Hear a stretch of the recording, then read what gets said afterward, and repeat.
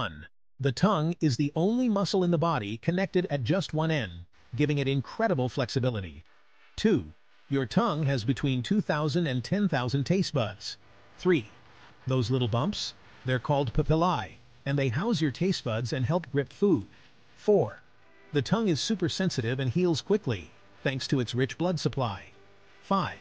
The tongue has its own immune system defense, protecting against harmful pathogens. 6. Your tongue can reveal your health.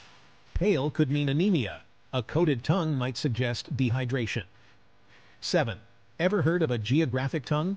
It causes red patches that look like a map, but don't worry, it's harmless. 8. It's incredibly sensitive. That's why hot or cold foods feel so intense. 9. Those taste buds are constantly renewing, which keeps our sense of taste sharp. Finally, 10. Did you know the tongue is stronger than steel, ounce for ounce?